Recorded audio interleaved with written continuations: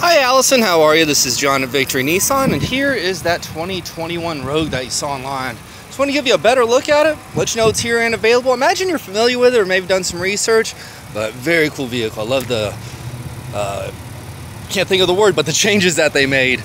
Uh, for example, in the grill, you reach certain speeds, some of those shutters will close up, providing better aerodynamics and offering some better gas mileage. So with this SL, you do have some bells and whistles on it. By the way, I love that boulder gray color. Yes, ma'am. Let us know if you have any questions at all, if we can provide any information.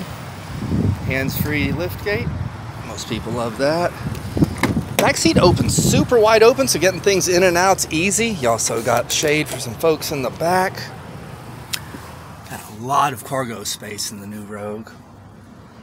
They got their plugins back here and the massive panoramic sunroof, one of my favorite features on here. Oh yeah, you also got a remote start on your key fob. Love that feature as well.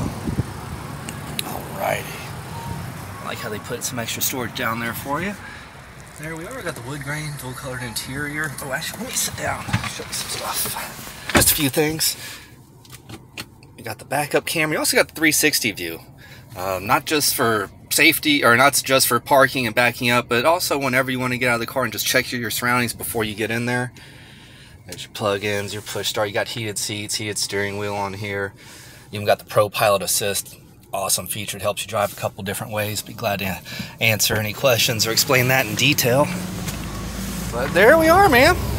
Just a quick look at it. And we are interested in your 2020 Rogue. I'm assuming you were trading it in? No, just an assumption there. Uh, yes, ma'am. We are open until 8 today and 9 to 7 tomorrow if you'd like to stop by and take it for a spin.